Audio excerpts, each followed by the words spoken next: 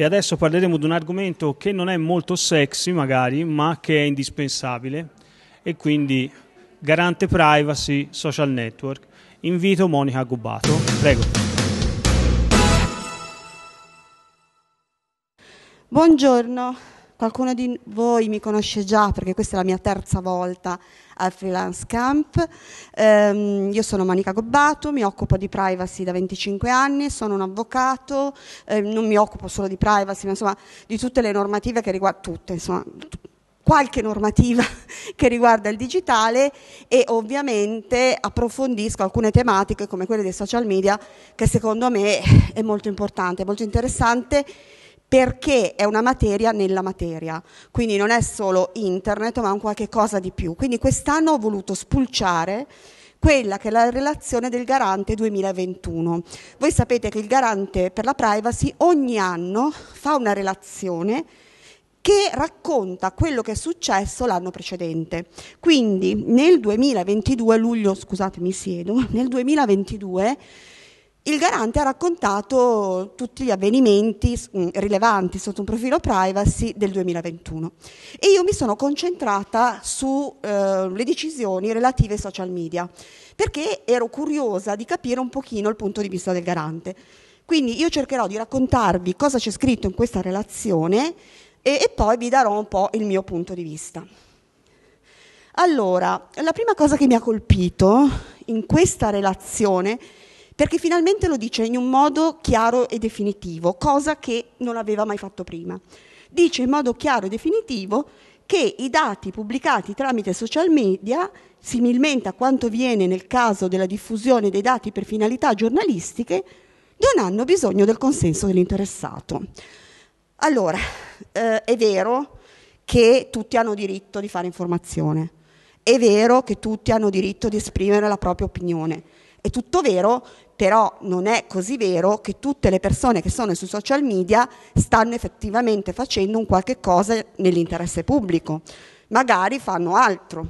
Quindi questa parificazione è vero che è precisato, però può essere pericolosa perché può indurre un, chiamiamolo un influencer, ma un influencer magari, cioè ci sono soggetti che hanno un ruolo insomma, molto marginale nell'ambito dei social media. Quindi fargli credere che il consenso non serve, secondo me è pericoloso. Ovviamente stiamo parlando di consenso di soggetti altrui, no? quando si fanno delle riprese piuttosto che degli approfondimenti su terzi.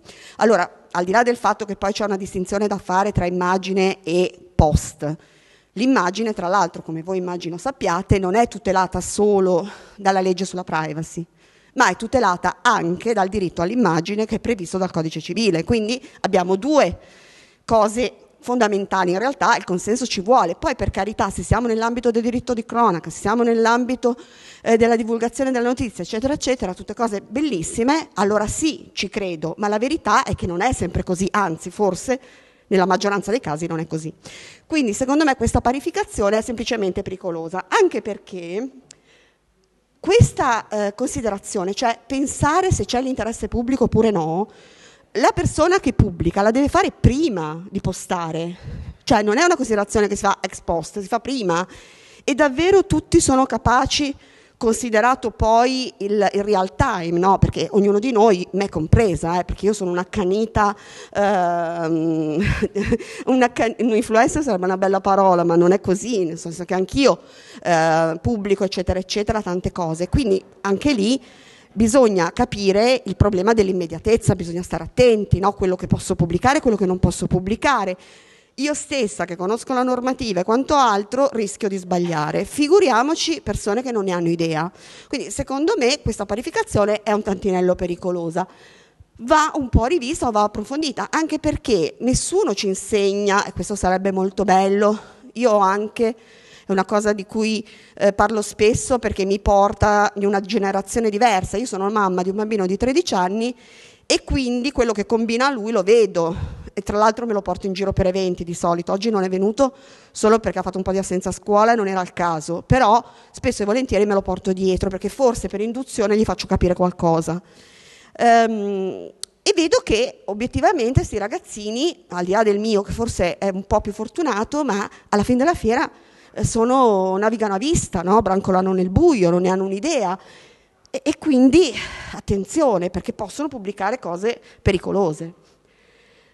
Numerosi reclami, questo è un altro dato di fatto che io rilevo dal, dalla relazione del garante, e segnalazioni sono pervenuti al garante volti a lamentare proprio lesioni del diritto alla riservatezza ad opera degli organi di informazione, anche per effetto della sempre più ampia e prevalente diffusione delle notizie sulla rete e sui social media. Ecco, un fatto molto importante che ovviamente si sa, però forse non ci si riflette abbastanza, è che eh, i social media esistono da un tot di anni, no? prima c'era soltanto l'internet che però aveva una direzionalità completamente opposta a quella attuale, cioè internet si rivolgeva agli utenti, cioè era la rete che informava gli utenti, non succedeva il contrario.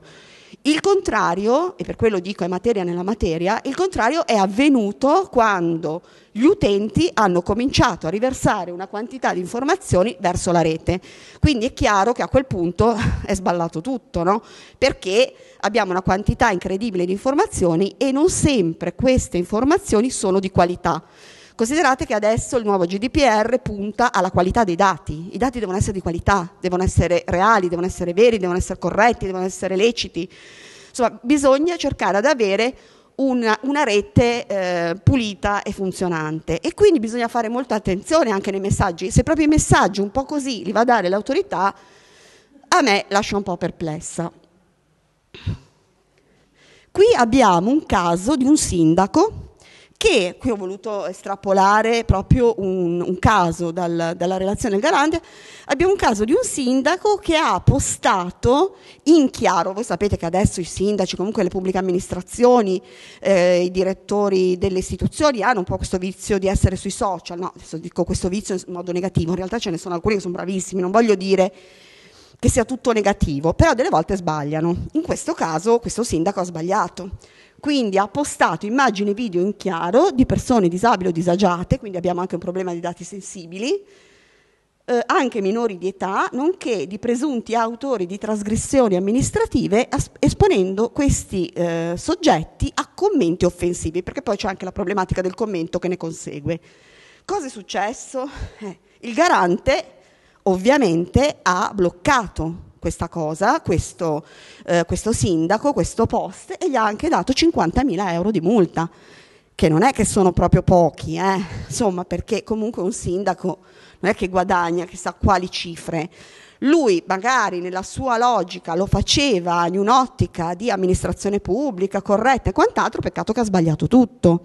Quindi bisogna fare veramente molta attenzione. TikTok, adesso ho voluto passare da un argomento a un altro, sempre ispirandomi però alla relazione del garante, perché il garante ci dice nel 2021 ci siamo presi la briga di andare a studiare TikTok, bravissimi. E cosa hanno fatto? Alla luce di questa analisi su TikTok sono arrivati a dire che dovevano essere sicuro, cioè che TikTok doveva adottare delle procedure affinché fosse sicura che eh, gli utenti che la usano siano effettivamente inferiori ai 13 anni e quindi ha obbligato TikTok a fare delle procedure utili, al di là delle procedure che insomma sono più o meno quelle di prima e che mio figlio adesso ne ha 13 ma prima ce ne aveva meno e riusciva ovviamente a bypassarle in ogni caso. Allora io mi dico, possibile che un garante si fissi solo sull'età. Cioè, in realtà, secondo me, questi social media, se uno li usa benino, non sono così malvagi. Il problema è saperli usare benino. Allora, anche i ragazzini, se tu gli impedisci delle navigazioni, e sono sicura che ci sono degli algoritmi che sono in grado di farlo, piuttosto che dei firewall, dei tecnici mi possono aiutare in questo, allora obbliga il titolare di un TikTok a impedire al ragazzino che dichiari l'età giusta, perché è meglio sapere l'età giusta piuttosto che ci prenda in giro. Che dichiari l'età giusta e non veda determinate cose, quindi farlo per fasce, cioè dare delle indicazioni che abbiano un senso più, um, più restrittivo, più, più, personalizzato che non dire 13 anni. Mio figlio ha 13 anni, ma comunque di scemenza ne vede, nonostante io stia sempre lì a rompergli le scatole, no? Quindi, e poi me lo racconta pure, tutto fiero di sé. Quindi voglio dire, cerchiamo di andare a fondo un pochino meglio di queste cose. Qui invece abbiamo ehm, una verifica dei reclami. Voi sapete che al garante si possono fare delle segnalazioni dei reclami, cioè quando scoprite qualcosa che non va sotto un profilo di privacy potete fare o la segnalazione che sono poche righe, dove non dovete conoscere il diritto, dite semplicemente secondo me questo oggetto sbaglia per questo e quello, potete farlo anche in modo anonimo, oppure una cosa più circostanziata è fare un reclamo, però il reclamo obiettivamente è più difficile, ma in ogni caso non è obbligatorio l'avvocato, quindi si possono fare anche in prima persona. Un terzo dei reclami del 2021, dice il garante, hanno riguardato i motori di ricerca e in particolare la maggioranza hanno riguardato Google. Cosa era l'oggetto del reclamo? La maggioranza delle volte l'oggetto del reclamo è la deindicizzazione dei contenuti, perché le persone chiedono giustamente di deindicizzare i contenuti affinché non si venga ripescati, perché voi sapete che la rete alla fine eh, conserva tutto e quindi mantiene nel tempo anche informazioni che possono essere obsolete, superate, ehm, non più valide, no? e quindi spesso e volentieri si va a chiedere la deindicizzazione. Quindi sicuramente questo è un grande motivo.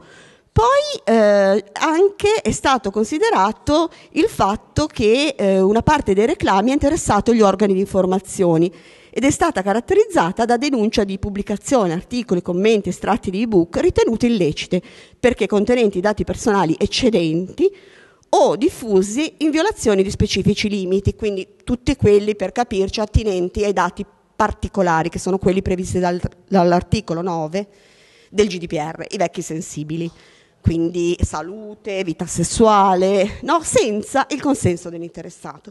Quindi queste sono state un po' eh, le, mh, mm, le, considerazioni che sono state mh, mm, date dal garante nell'ambito della relazione. Ovviamente non solo Google è colpevole, quindi ci sono anche altri motori di ricerca che vanno a riportare ehm, informazioni superate, obsolete e quant'altro, ma ce ne sono meno, quindi forse perché si usano meno questi motori di ricerca. Comunque ovviamente il garante ha fatto delle, dei provvedimenti anche per quanto concerne Bing, poi lo dice qua Verizon Media, eccetera. Però è un po' più complicato nel caso di questi soggetti, perché poi hanno sedi, mentre comunque Google ha delle sedi anche nell'Unione Europea, non tutti si sono organizzati in questo modo. Voi sapete che adesso con il GDPR è obbligatorio avere una sede nell'Unione Europea, o meglio, è obbligatorio avere un data protection officer come me, per capirci, insomma un soggetto che aiuti a gestire tutte quelle che sono le questioni rilevanti ai sensi della privacy per tutti quelli che fanno profilazione. Profilazione è un argomentone che se me lo faranno fare magari un giorno ne parliamo più a fondo perché proprio di questi giorni, non so se qualcuno di voi se ne è accorto, sta girando questo banner strano da Repubblica, Stampa, Manifesto, insomma giornali importanti, che dice che o mi fai profilare oppure se non mi fai profilare ti abboni. Cioè un cookie wall, che è vietatissimo ma vietatissimo, cioè proprio una roba indecente. Quindi noi, alcuni di noi, cioè gente che fa privacy da 25 anni, sta dicendo che è una schifezza e bisogna eliminarla. Il garante ha aperto un'istruttoria dove già parte con una premessa che non mi piace, dove dice la natura negoziale nel GDPR non è esclusa, che non è vero la, la, negoziazione del consenso esclusa e come, perché il consenso deve essere libero, è un postulato che non si può, quindi già parte male, però l'istruttoria non è finita e quindi non vi so dire cosa succederà. Quello che la mia associazione sta facendo ovviamente è di scrivere al garante, di portare post, insomma stiamo facendo un po' di casino per far notare che sta roba è illecita. Quindi se voi cercate un banner cookie, ne parlavo prima con la collega, eh, non andatelo a cercare sui giornali importanti in questi giorni perché sono tutti sbagliati. Meglio andare alla pizzeria da Pino, che è molto più probabile che abbia un banner cookie fatto bene rispetto al manifesto, rispetto a Repubblica, rispetto alla stampa. Quindi attenzione. Quindi profilazione argomento importante, argomento che meriterebbe una sessione separata perché ovviamente vuol dire andare a raggiungere mediante il targeting, sul targeting noi abbiamo un regolamento, delle linee guida che erano del 2020 ma sono state aggiornate nel 2021, linee guida sul targeting dei garanti europei, che sostanzialmente vanno a chiarire cosa si può fare e cosa non si può fare. E ovviamente sono molto analitiche, quindi sono molto interessanti per chi fa il vostro lavoro, quindi Google Ads, eccetera.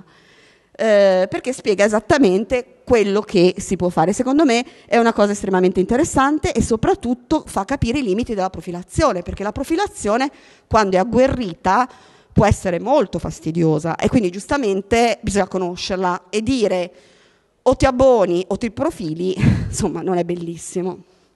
Quindi eh, dopo 25 anni siamo tornati nel casino peggio di 25 anni fa, questa è la cosa allucinante, però vabbè, eh, non voglio confondervi. Il targeting consente a persone fisiche o giuridiche di funzioni aggiuntive fornite dai social per promuovere interessi commerciali, politici o di altro tipo.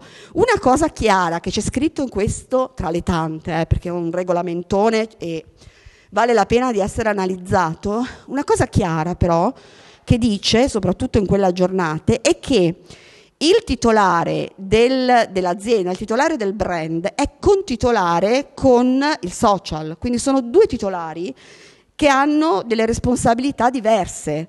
E sono due soggetti perché magari uno pensa se lo faccio con Facebook la colpa è di Facebook, non è così, cioè, la colpa sarà anche di Facebook ma è anche di chi pubblica. Quindi attenzione, parlo a livello di brand, eh, quindi di profilazione, eccetera. Questo è un discorso che va oltre a quello che ho fatto all'inizio parlando del consenso delle immagini e quant'altro.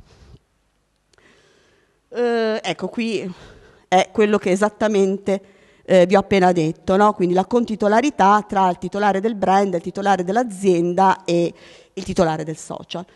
Detto questo, in realtà avrei già finito, forse mi sono dimenticata di dire che oltre a fare l'avvocato sono presidente di un'associazione che si chiama Privacy Academy. Grazie. Grazie.